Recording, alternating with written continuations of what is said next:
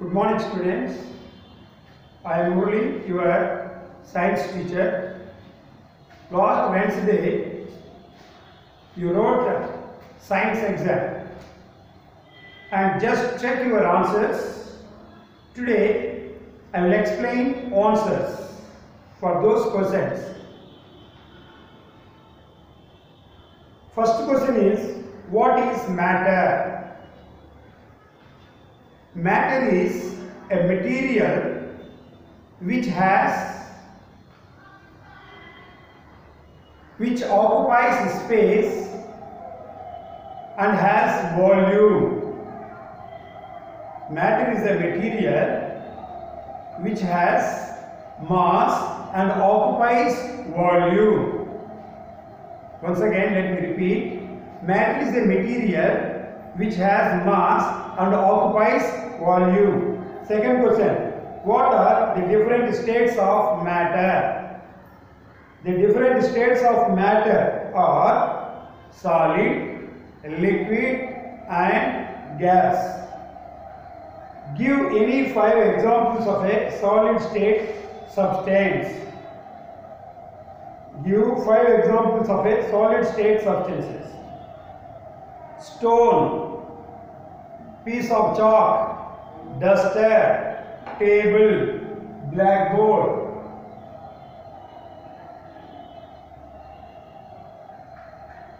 All these are examples of solid state substances. Next, give any five examples of a liquid state substances. Water, kerosene, diesel, petrol, coconut oil, groundnut oil. Next, give any five examples of a gaseous substances.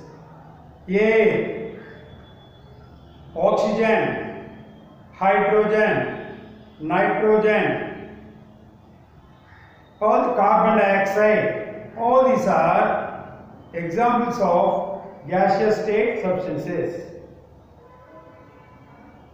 Next, uh, fill in the blanks. Ice is in dash state. Ice is in dash state. Solid state. Water is in dash state. Liquid state. Air is in dash state. Gaseous state. Name the substances which exist in all three states. There is only one substance that exists in all three states that is water.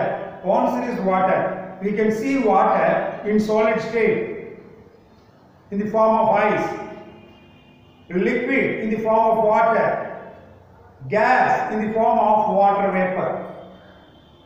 Next, change of state.